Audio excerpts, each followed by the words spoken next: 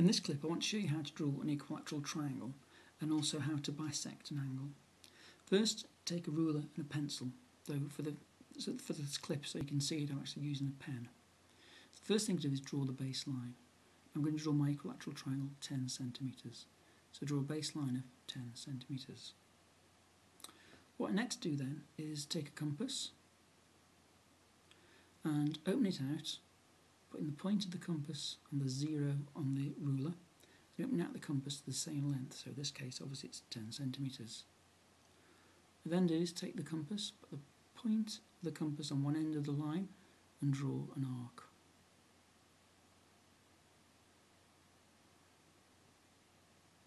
Making sure it's nice and visible. Then put the compass on the other end of the line and again draw another arc. This time making sure those arcs intersect, make sure the arcs cross. Then take the pencil and ruler and from where the arcs intersect, draw a line to one end of the line, which forms one side of the triangle. Again, from the, where the lines intersect, draw a line to the other end of the line, and we have an equilateral triangle. And to check an equilateral triangle, um, all the angles, of course, should be 60 degrees. So we can take a protractor and measure it, and there you can see as we come round, it is 60 degrees. Okay, so let's look at how now to bisect the angle.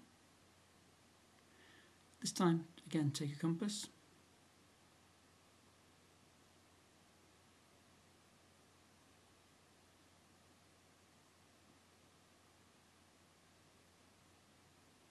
So take a compass, open it up. In this case, it doesn't matter the size of it, but put the point on, on the vertex of the triangle and draw an arc on one edge and on the other edge.